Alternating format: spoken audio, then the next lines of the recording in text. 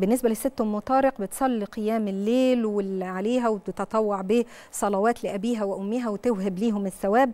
فبتقول ساعات بكون في قيام الليل ويرفع أذان الفجر وأنا مش حاسة. أخرج من الصلاة عشان قالوا لها أنت لازم تخرجي من الصلاة ولا أتم الصلاة ولا إيه الوضع؟ اللي حضرتك بتعمليه إن أنا بصلي وبتنيني بواصل بالصلاة لغاية دخول الوقت. أو انت دخل الوقت الفجر وانت مش حاسة فحضرتك كل اللي هتعمليه هتقومي بإتمام الصلاة اللي حضرتك بدأتيها في وقت صحيح وهو قبيل الفجر. لكن لازم أبقى عارف إنه من السنة الانتهاء من صلاة الليل قبل دخول وقت الفجر. وده كان هدي النبي عليه الصلاة والسلام في القيام أو في التهجد.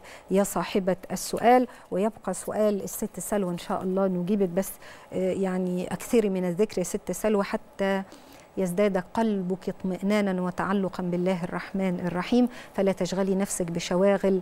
ان أنا زعلانه من دول ومش عايزة أكلمهم. اشغلي نفسك بذكر الله ألا بذكر الله تطمئن القلوب. وقال ربكم ادعوني أستجب لكم.